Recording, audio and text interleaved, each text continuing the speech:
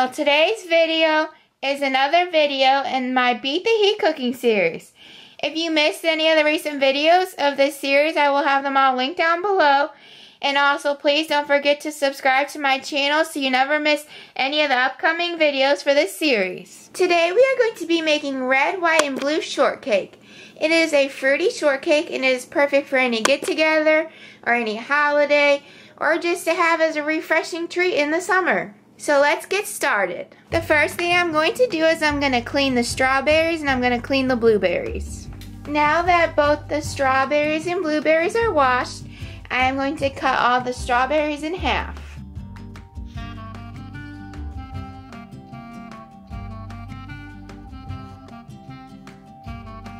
Now that we are done cutting the strawberries, we are going to add all the strawberries in the bowl with the blueberries.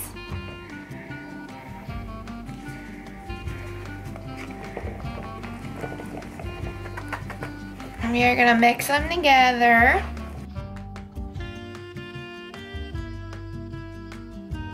Now we are going to add a fourth a cup of sugar to the mixture.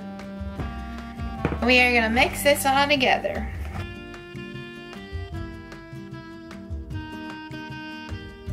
Now we are going to set this aside. Now we are going to take another bowl and we are going to mix together the cream cheese and our marshmallow cream.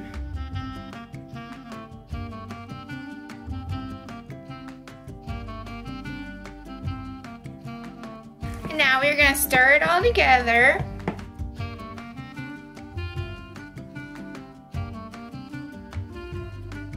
So once you're done mixing, it should look like this. Now we're gonna set this aside.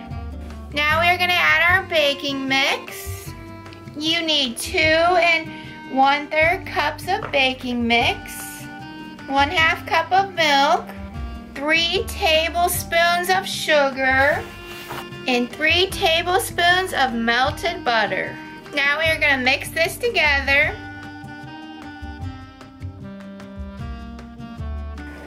and mix it until it forms into dough. Now we are going to take our 9 by 9 square pan and we are going to spray it with non-stick cooking spray. We are going to put the dough into the pan.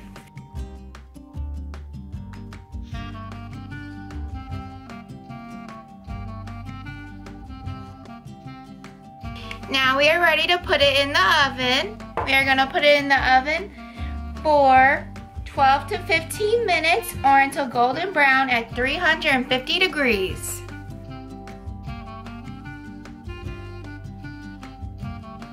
So it is now finished baking.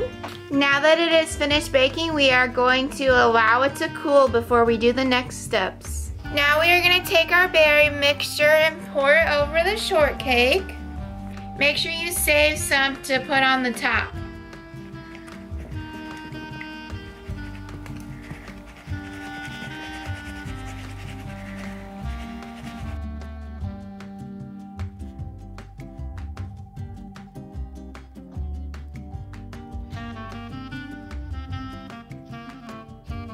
We are going to gently press down on the berries to let the juices soak into the cake. Now we are going to take our cream cheese mixture and spread it over the berries.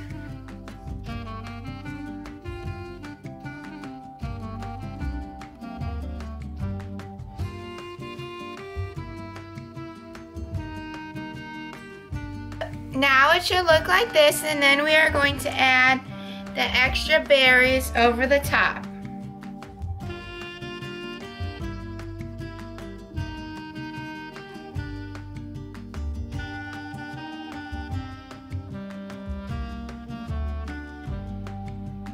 I hope you guys are enjoying my Beat the Heat cooking series. I am having so much fun making it. We are now finished spreading the berries on the top. And all you do now is chill in the refrigerator for at least 30 minutes before serving. So that is all for this Beat the Heat Cooking Series video. I hope you enjoyed it and don't forget to subscribe and stay tuned for the next video. Thanks for watching. Bye.